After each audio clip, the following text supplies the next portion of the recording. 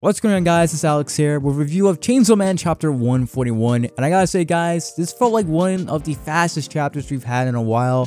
Where on the surface, a lot hasn't gone on in this chapter, but in the background, a major storm is brewing that'll force Denji to make one of the toughest decisions that he's ever had to make. Chapter starts off with us seeing Denji going on his day outside of school with Nayuta.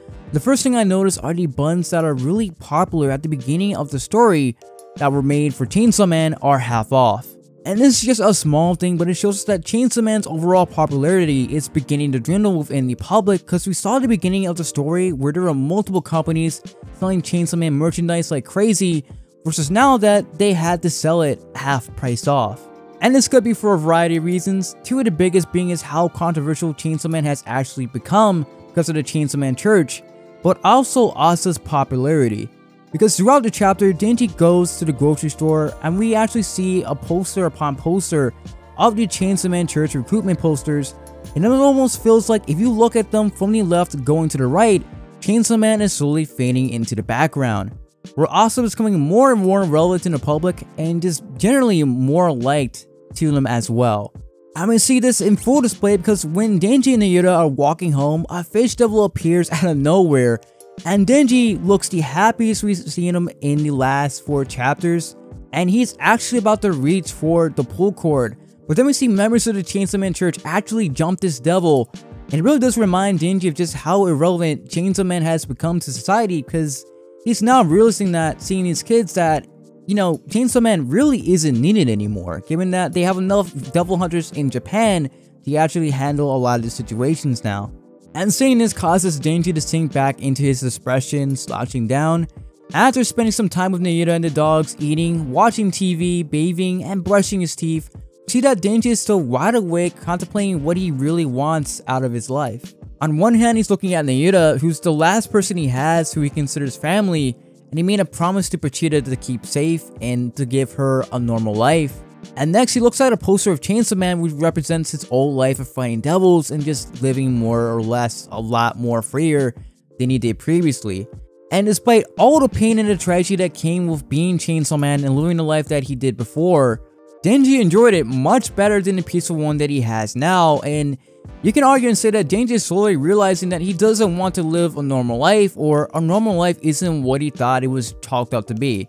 And he's even scared of how he'll live a normal life because we see as Nayuta is sensing that Denji is still awake, she asks why you're still up.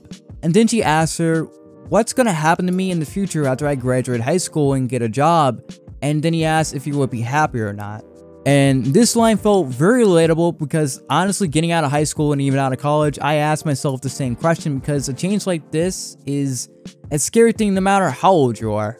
And in Denji's case, he doesn't know what living a normal life really is, and it shows just how warped in his mind a normal life really was from his perspective, because he always thought that a normal life is better than the one that he was living with the Yakuza, where in reality for a lot of people, living a mundane normal life, like Denji is living, is, is pretty common. It's pretty much how people really do live their lives. I mean, you go to work, you just make enough money to be able to cover your bills, save a little for maybe a night out at the steakhouse, and I mean, that's really it. And it isn't really living, but that's just the reality of how a lot of people really do live their lives. And this could be Fujimoto's really his way of expressing this, because I mean, there's many cases of entertainment where it's often questions, is it really living or are you just surviving when you're living a life like this? I mean, Zom 100, in my opinion, does this really well in like a short period of time of having a commentary about it where it really goes to show that one selling man who worked so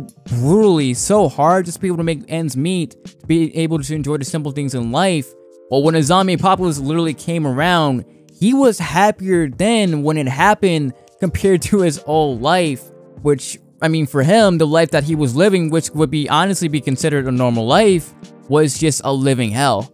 And for Denji, in a way, it's just the absolute same. I mean, he hates his life right now, but because of Nayuta, it makes it bearable and gives him a purpose to live on. It's why when Nayuta says, no matter what happens, I'll always love and be with you, he chooses her over his own happiness of being Chainsaw Man. And the way that Fujimoto really does show a lot of this without having too much dialogue is absolutely incredible, and it's pretty realistic when you think about it.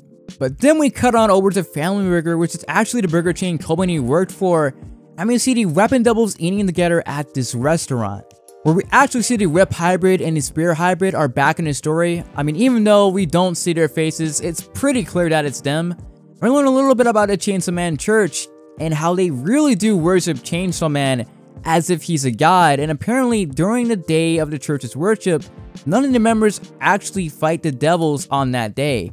And dialogue here is a bit confusing. It seems like that in order to lure Denji out and make him transform into Chainsaw Man again, they're going to stop killing devils on this day with the hopes that a powerful devil will appear or so many devils will appear that public safety and the private devil hunters can't handle the influx of the devils appearing due to the large number of civilians of the civilian population actually killing them off more than they ever have. And things take an even darker turn because it appears that the weapon devils are planning on pulling a No Russian on Japan.